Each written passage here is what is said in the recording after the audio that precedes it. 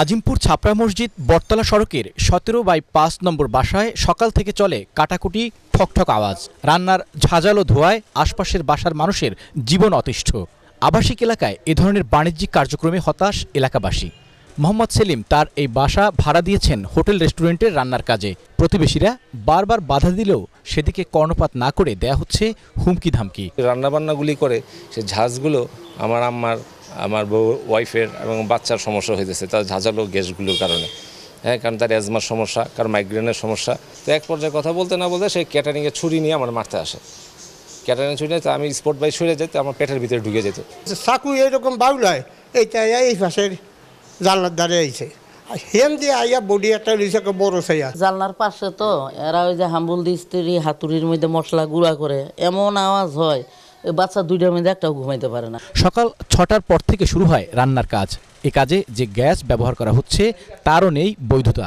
আবাসিক লাইন ব্যবহার করে বড় বড় চুলায় রান্না করা হলেও কোনো সদুত্তর দিতে পারেননি তারা। আপনাদের দোকানে যান দোকানের লোক আছে কথা বলে ম্যানেজার আছে যান। এখানে আমাদের বিরিয়ানির আইটেম হয় আর সকালে নাস্তার বাজে বুজি পাকানো হয়।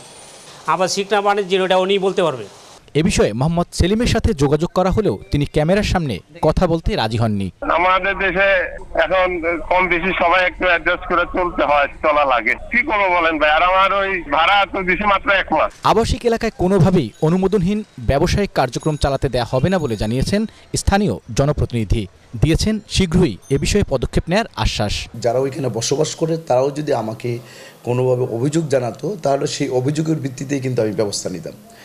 এখন যেহেতু এরকম ঘটনা ঘটেছে, তার জন্য আমি দেখব অবশ্যই জরুরি ভিত্তিতে এটার ব্যবস্থা নেওয়ার জন্য। তার কোনো বাণিজ্যিক কোনো লাইসেন্স আছে কি না সেটা যাচাই করে সেইখান থেকে ব্যবস্থা নেওয়া হবে। ঘনবসতিপূর্ণ এলাকায় অবৈধ গ্যাস লাইন ব্যবহার করে রেস্টুরেন্ট ও ক্যাটারিং ব্যবসার নামে এ ধরনের কার্যক্রমে অগ্নিকাণ্ডের মতো বড় ধরনের দুর্ঘটনাও ঘটতে পারে বলে আশঙ্কা এলাকাবাসীর।